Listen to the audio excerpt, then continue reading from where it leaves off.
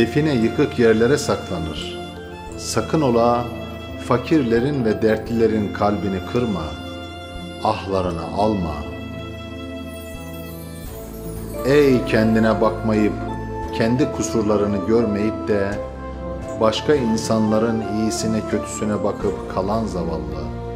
Allah senin yardımcın olsun.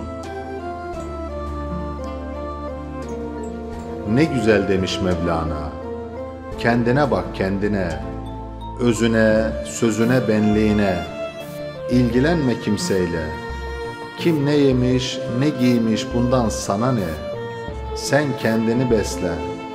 Bilgiyle, sevgiyle, şefkatle.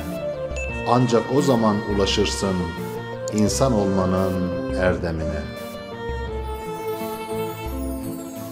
Söz görüşü bulandırır. Söyleme. Sevenle sevilene ayrı varlıklar sanırdım. Meğer onlar bir imişler. Bense biri iki görmüşüm.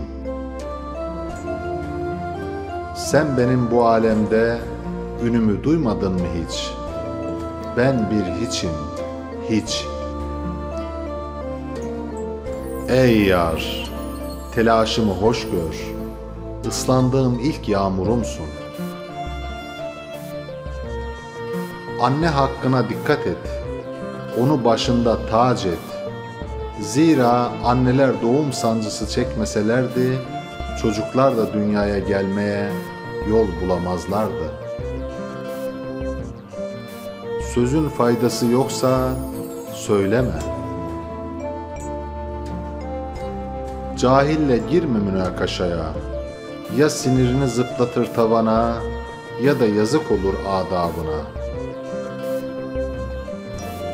Birine eğri bakınca o kişi eğilmez.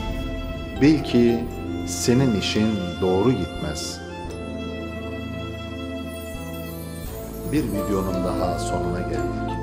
Videomuzu beğenip dostlarınızla paylaşmayı unutmayınız. Bir başka videoda buluşmak üzere Allah'a emanet olunuz.